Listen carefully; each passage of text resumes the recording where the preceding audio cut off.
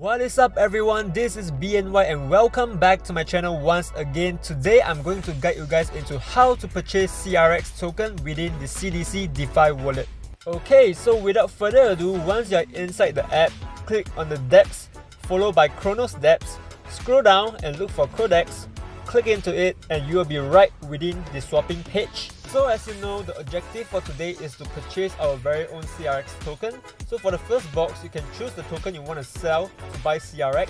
For this example, I'm going to use USDT and for the second box below, we can either search by typing the token name or scroll down to look for the token you want.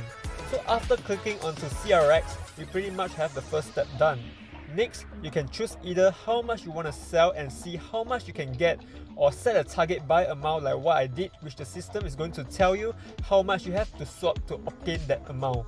So when you're satisfied with the rates given, click on swap and then a breakdown will be shown to you.